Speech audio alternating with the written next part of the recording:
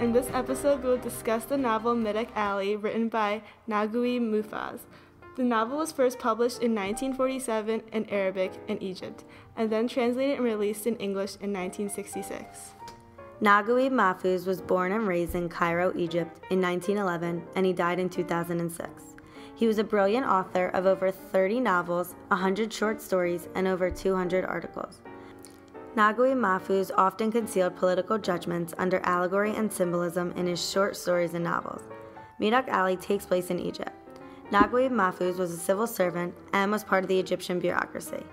Mahfouz works a lot of his creativity from all of his past experiences in Egypt. I think it's very interesting how the author can take a personal experience and knowledge of his home to work into his novels and add culture. This book is definitely an interesting read, full of various characters, and when I say full, I mean full. I keep a notepad and pen around to jot down the different characters and what they do in the book and for a living. When I read a novel, I want to have some characters I like, some I hate, some I'm unsure of, etc. As I continued through the book, I even found myself getting mad at some characters. That's when I know I actually like what I'm reading. Did any of you guys like having a list of characters involved in the novel, or was it ever overwhelming for you? It was definitely overwhelming, but I enjoyed that. It kept me focused because I knew if I lost focus for just a second while reading, I would be lost. I kept a lot of notes too in order to keep up. I felt as though I was reading a long list of connecting people.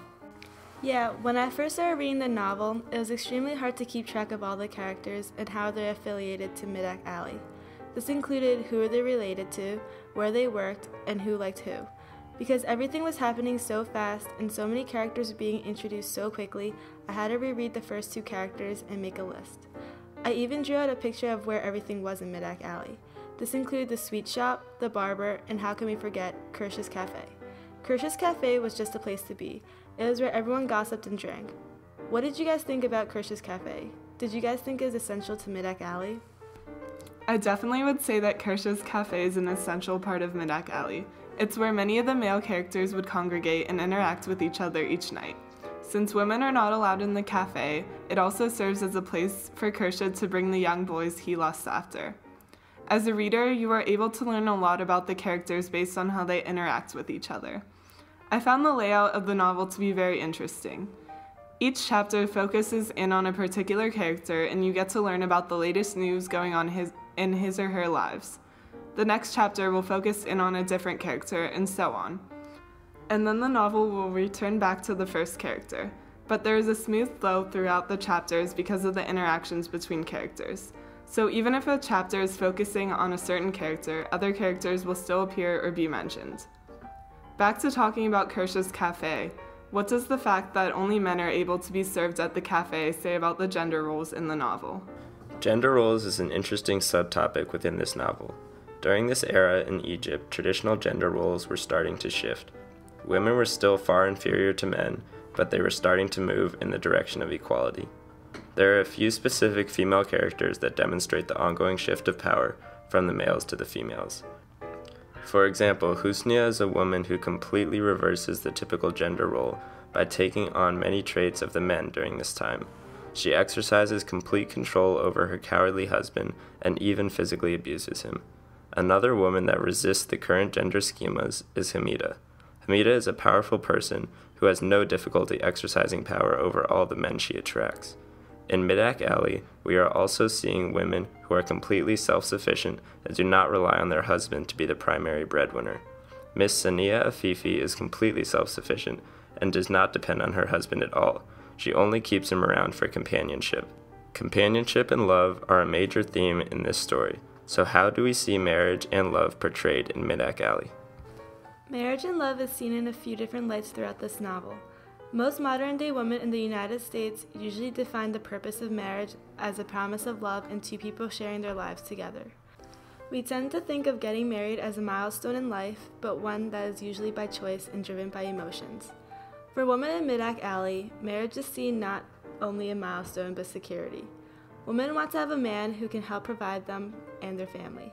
They also want the rest of the people in the alley to see that they are in some ways respectable, desirable, and a true woman now from her marriage. Other ideas of love as desire were also a key part of the novel. Kirsch's desire for young men, Abbas's desire for Hamida, Hamida's desire for Ibrahim, the list goes on and on. Along with that, an ongoing theme seemed to be the chase of one character after another, or even the idea, the idea of an affair was quite common. Each desire is often driven by a bigger idea as well, whether it be unhappiness in their current marriage, sexual orientation, excitement and entertainment, or a new way of life. This brings me to Hamida falling for Ibrahim and leaving with him in hopes of a new and luxurious life. How important would you say that money is in this novel? Would you say that money might be one of the most important themes? I would say that money is one of the most important themes in this novel. Throughout the novel, characters were defined by the amount of money they owned. The characters of Midaq Alley were also given their social status based on money. Money was a driving force. Many of the characters had a desire to have more money in the novel. Some examples are Hamida and Abbas. Hamida wanted to live the luxurious life. She was very materialistic and, in a way, shallow. This all leads with her going off with Ibrahim to explore the life outside of Midaq Alley. Abbas, on the other hand, wanted money to win over Hamida. Because of his desire for Hamida, he went off to work for the British Army. Class and upward mobility also relate to money. People tend to want what they can't have. We see this idea throughout the novel. Like Hamida wanting a life of luxury, most people in the alley want more than what they have. For example, Mr. Alwan is the wealthiest man in the alley. If money was the source of happiness, he should be content. Yet, Mr. Alwan lusts after Hamida. Zaita, the cripple maker, wishes to be with Husnia, but she is married. Again, a character wanting what they can't have. Hussein Kirsha is also unhappy in the alley. He decides to leave, only to return later with a wife and no money saved. Are there any people who are actually happy in the alley? Well, most of the people in the alley seem unhappy. For example, Mrs. Kirsha stays with her husband, although he brings young boys to the cafe. They share a dishonest marriage, but despite the unhappiness, they aren't doing anything to change and live more happily. Their unhappiness is furthered when Hussein leaves. On the other hand, I do think some people are happy. I think that Uncle Kamil is content with his life in the alley. He owns the sweet shop and doesn't seem to make much of a fuss through the novel. Um, Hamida also seems happy. She arranges marriages and takes pleasure in spreading gossip throughout the alley. Though Abbas was heartbroken by Hamida's betrayal, I believe that he would have been content working as a barber in the alley.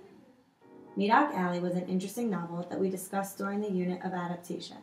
We discussed desires, social status, money, marriage, and love.